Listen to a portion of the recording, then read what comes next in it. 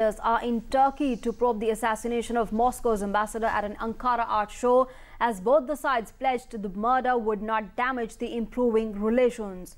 Veteran diplomat Andrei Karlov was shot nine times in the back by off-duty Turkish policemen at the art gallery opening of a show of Russian photography on Monday.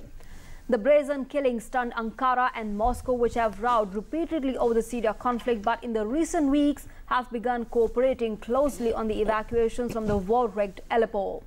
Meanwhile, the body of the assassinated envoy has been taken to Moscow. A Russian plane carrying the body of the ambassador landed in Moscow, where he was to be honored in a ceremony.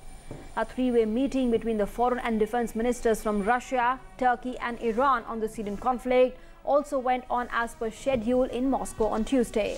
A joint statement by the foreign ministers of the Islam Republic, uh, Islamic Republic of Iran, the Russian Federation and the Republic of Turkey was issued agreeing on the steps to revitalize the political process to end the Syrian conflict.